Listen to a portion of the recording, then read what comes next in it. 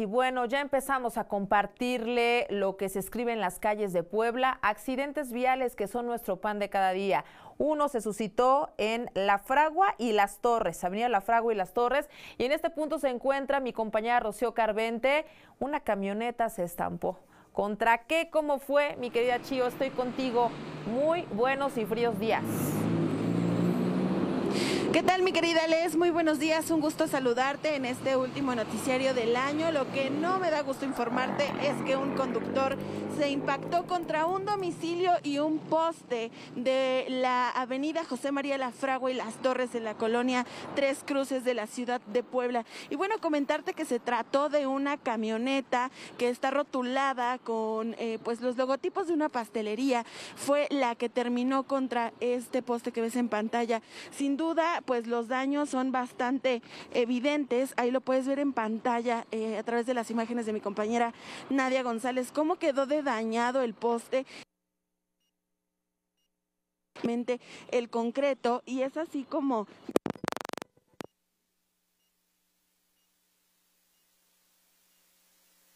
Estamos teniendo por aquí un problema con el audio. Ahorita retomo la comunicación con Rocío Carvente, pero podemos observar, mire usted nada más el desastre que generó este choque.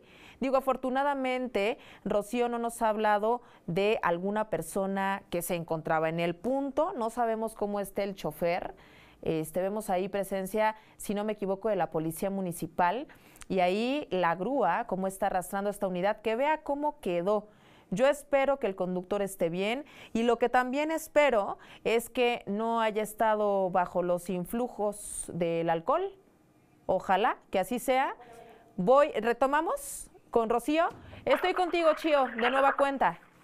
¿Qué tal, mi querida Lenz? Así es, efectivamente, como te comentaba, bueno, pues el conductor de esta camioneta terminó impactada contra el poste. Lo que algunos vecinos nos refieren es que alrededor de las 5 de la mañana escucharon un fuerte estruendo. Sin embargo, bueno, pues no salieron a ver qué era lo que sucedía al momento que escuchan, bueno, el reporte a través de las redes sociales también, bueno, salen de sus domicilios y es que se encuentran con esta situación. Decirte que al menos unos tres domicilios no cuentan con energía eléctrica, es por ello que hacen el llamado a la Comisión Federal de Electricidad para que se puedan dar en este punto y puedan llevar a cabo la reparación del poste. Hay un transformador, entonces también valdría la pena que Protección Civil acudiera hay una vivienda que presenta daños estructurales. Es más, le voy a pedir a mi compañera Nadia González que se acerque conmigo a ver pues las afectaciones que sufrió esta vivienda. Aquí lo vamos a ver como incluso una parte de la barda en la parte superior donde está este medidor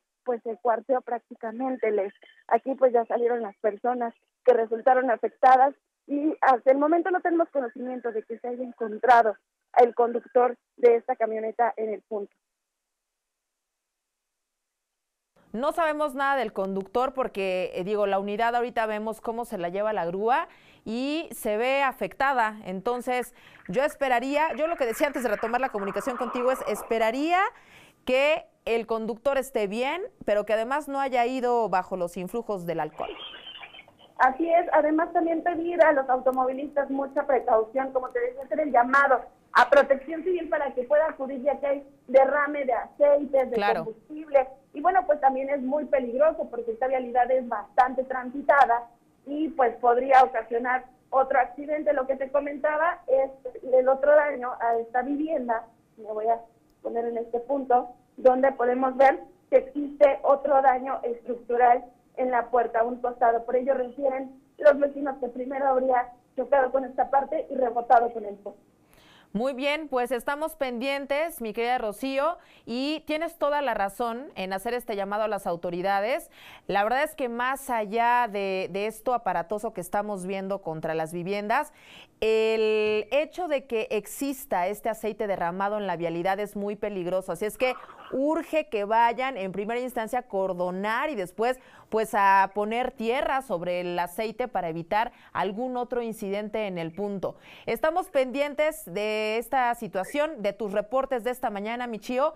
Abríguense muy bien, Nadia y tú, y estamos aquí en contacto. Te mando un abrazo.